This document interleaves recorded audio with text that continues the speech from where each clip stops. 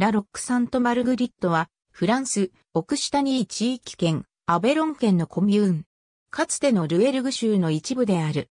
モントルドンの市場コミューンの経済は、ロックフォール、ペライユ、トムチーズの生産を目的とした乳製品生産用の羊の飼育、食肉用の子や子羊の飼育といった広範囲にわたる伝統的な農業に基づいている。園芸、養蜂、焚き木の生産、農村観光の分野へと多様化が進んでいる。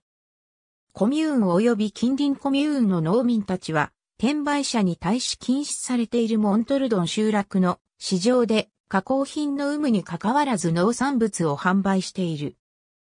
2016年時点のコミューン人口は185人で、2011年時点の人口より5.13%減少した。参照元、1962年から1999年までは複数コミューンに住所登録をするものの重複分を除いたもの。それ以降は当該コミューンの人口統計によるもの。1999年までイヘス、カシニー、2006年以降 INSEE ノートルダムでトレーユ境海岸にしがみついているサンベラ集落はモンカルム家発祥の地である。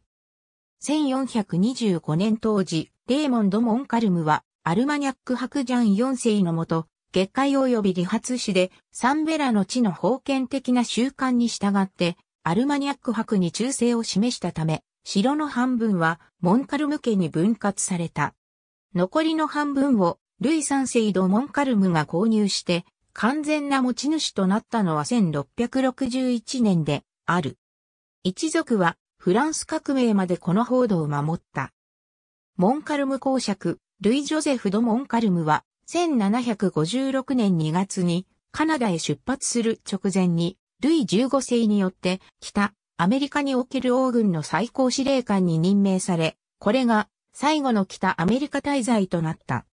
城が建設されたのは11世紀初めに遡るが、今日では、領主の住居部分と円筒形のダンジョンの一部だけが残っている。1470年、サンベラの城が王家の教託下にあった時、シャルル・ダルマニャック伯は約30人の武装した男たちからなる小さな部隊で城に入りようを驚かせた。1470年12月、錬金術を用いて偽金を鋳造したとアルマニャック伯は告発され、ロデーズ執事長であるギヨーム・ド・シュリーによって包囲された。翌月1月の初め、彼は、諸子のジャンともども降伏することになった。シャルル・ダルマニャックは、バスティユー監獄に投獄され、ルイ11世が亡くなる1483年まで解放されなかった。ありがとうございます。